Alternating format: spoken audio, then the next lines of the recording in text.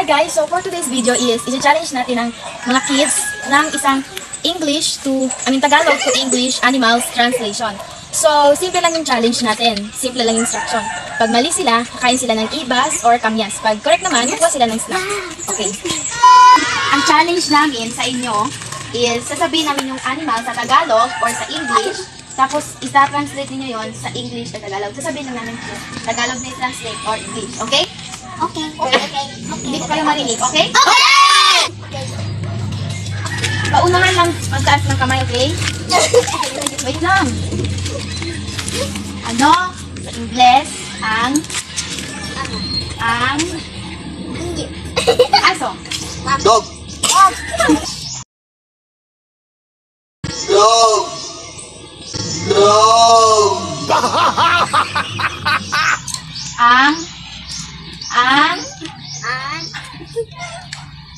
ang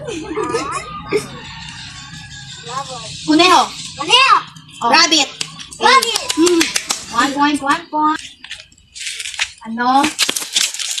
Sa English, ang paru-paro. Bird. Butterfly. Na. Gimog bird ang butterfly. Na. Gabulubog man ka.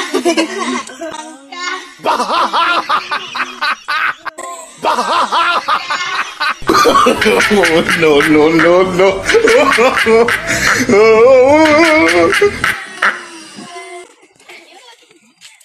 Okay. Ano sa Tagalog ang whale? Oh, hindi. Shell.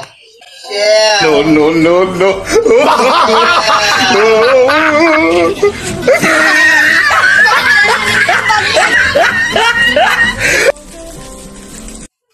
Ano sa English ang ang langgam? Bird. No, no, no, no,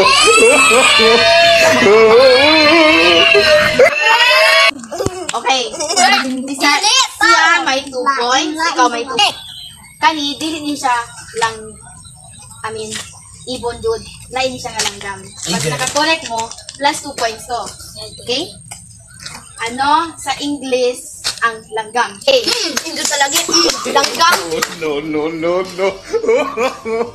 Wait a minute.